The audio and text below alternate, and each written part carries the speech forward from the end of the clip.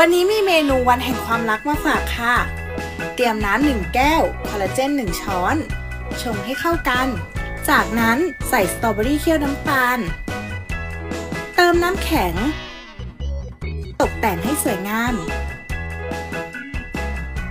เติมน้ำผสมคอลลาเจนที่เตรียมไว้